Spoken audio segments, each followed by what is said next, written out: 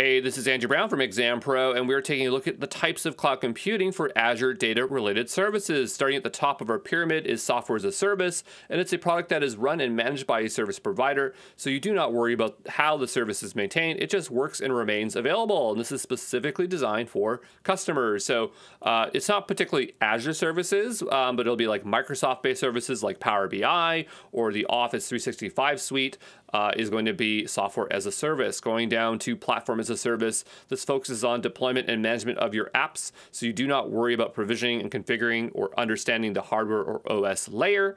Uh, this is specifically for developers, so we would put HD Insights, Azure SQL, Cosmos DB, Managed SQL. All right, and at the bottom we have infrastructure as a service. Uh, these are the basic building blocks for cloud IT. It provides access to networking features, computers, and data storage space. You do not worry about the IT uh, staff, data centers, and hardware. And underneath here we would have, this would be for admins, but we'd have Azure disks, virtual machines, SQL VMs.